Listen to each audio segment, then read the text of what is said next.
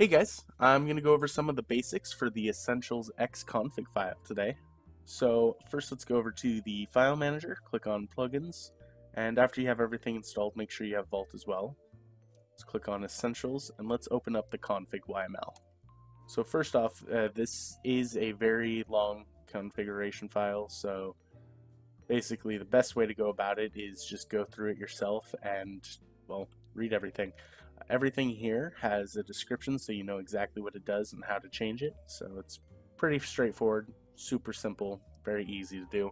But I'm going to show you guys some of the most important settings that you should know about. One of the best ways to find any of the settings in here, if you want to get to where I am, if you're on Windows, Control F, and let's just say you're looking for ops name color, ops name color, and you should just get, jump right to it.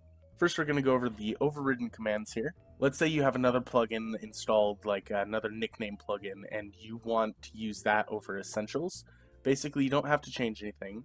Uh, Essentials by default forces the other plugin to take priority. However, if you want to use the Essentials version of whatever it is that another plugin might do, you have to change the command here. So let's say you have another plugin that gives the command slash god. Well, if you want the Essentials version to work, just remove this. That's basically commenting that line out. So now the plugin knows to allow Essentials to use slash God rather than another plugin. Now another really cool section here is the Social Spy. Uh, basically, if you have it enabled and you have the ability to use slash social spy, you'll be able to see when anybody on the server uses one of these commands as well as all of the arguments with it such as the messages or whatever. Uh, basically if you don't want to see anybody sending mail while it's enabled you can remove that or you can add another one and let's just say you want to see whenever somebody uses the command help.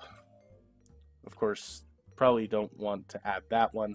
Usually social spies use more for seeing what people are saying to each other but you can definitely use it for other reasons to just see when somebody uses a specific command as well. Now let's say you don't have a permissions plugin and you don't plan on using one, you can set up somewhat of a permissions thing with Essentials X here. It's called player commands. You can actually select which commands you want to allow players, just default players, to be able to use. Anything that is here will be allowed for any player, whereas an OP would just have access to everything though I do still highly recommend using a permissions plugin as you can go much more in depth with it as well as make your own groups and ranks basically. Now here's one that I see many people having issues with all the time, uh, the sign control. Let's say you want to be able to use some of the different signs such as the kit signs or disposal or color signs, balance signs, buy, sell, trade, whatever. Uh, you have to enable them. By default, they are disabled. You can tell because they have this little symbol right here in front of each one. Let's say you want to enable just the color signs. Then you just remove that, the rest are disabled. Of course, we're going to go through and let's say I want to enable that, that, that. Um, let's go with disposal, kits, mail, enchant. Uh, we'll do an info sign, repair, and time. The rest I want disabled. So basically I can do that and those are the signs that are enabled. These are the signs that are disabled and all the enabled signs I can actually create on the server, whereas the others obviously just will not work. Okay, so once you're done changing anything you want to change here, make sure to click save and go back and restart the server to make sure that all those changes are in effect when you join the server again to play later. Thanks for watching guys, hope you enjoyed. Be sure to check the description for more Essentials X tutorials.